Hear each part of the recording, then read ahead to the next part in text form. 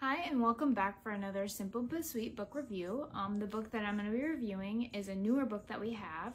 It's The Maidens by Alex Michaelides, and it takes place at Cambridge University, where a secret society of female students called the Maidens are murdered.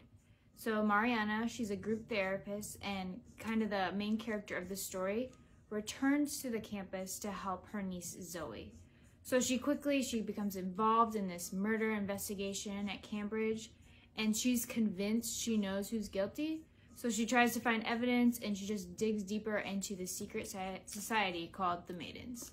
So if you feel like you'd be interested in this, uh, feel free to pick it up at our library. I also recommend his other book called The Silent Patient.